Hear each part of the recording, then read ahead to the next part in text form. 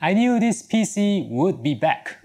Okay guys, this is the furiously disgusting cat PC is back once again in the studio in the workspace. Thank goodness this time, I think there's no hint of any form of cat piss or cat vomit. So from first glance, ah, you can see a lot of dust, a lot of fur on the tempered glass side panel. Top intake, the back of the case, exhaust fan, the IOs, the PCIe slots, the sides of the case, generally more dust and fur on the graphics card and on the power supply shroud. There's going to be a lot of dust around the power supply because that's where most of the dust and air circulation will happen because of the bottom intake. The owner or Typhoon Systems have installed this circulating to open and close. The idea is to make sure that the cat does not accidentally or purposely turn on and off the PC when the owner does not want him to. The other thing the owner is now looking for is he wants a case that can cover the front panel. He also does not want the cat to, you know, climb on top of the PC and piss on the ports. Okay, so we're gonna tear down the PC to see what kind of extensive damage or fur there's gonna be inside the PC itself. It's gonna be very exciting and very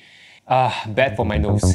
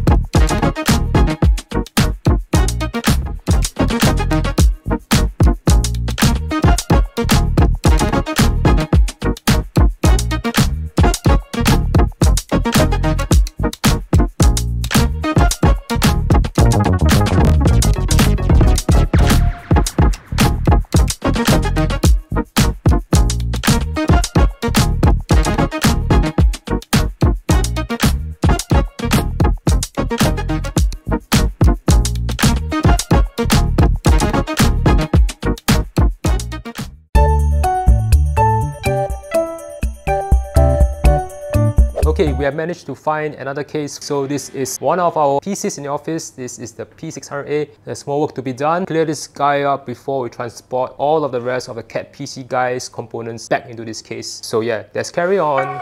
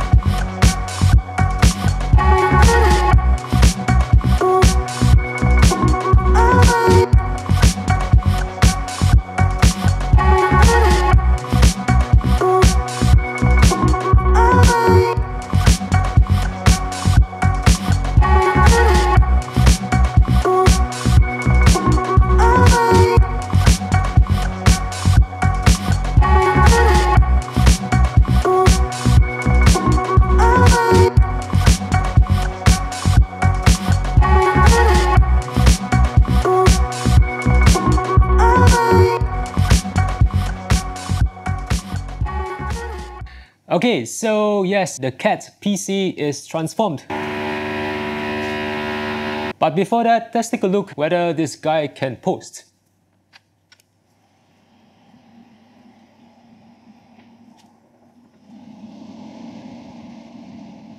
Right on, very good. We have reached Windows. This PC is working very fine. Of course, we have tested this during the process, so yes, we know the PC can turn on and work as fine. It's been a very long process trying to clean up the old PC, current Phanteks case, as well as moving everything over into this new setup that you see. Quite a hassle because a lot of dust and a lot of furs trapped around in very small tight corners inside those grills, like for example your GPU, inside the case, inside small parts where you hang all of your we tried our best clean as much as possible, but of course, unless you live in a dust-free environment or you live in a clean room, there's bound to be dust coming from all corners. Anywhere there's holes, we know that cat fur can enter the PC as when it wants. hopefully, we will see this clean PC last for a while. We know that the owner is going to send back this PC for a third or fourth time, but hopefully not too soon when this guy goes back to him. To the cat PC owner, if you're watching this video, hopefully you like your new PC and try to keep this clean look for as long as possible. Make your cat stay off the PC. We're now giving you a lot of, you know, covers. You included this uh, button, so make sure that your cat doesn't land its paws or whatever cat fluids onto this PC. We appreciate it. If you like such tech reviews, such tech builds, clean builds, make sure to smash the thumbs up button and come back to our channel for more of such awesome tech content. Thank you for watching.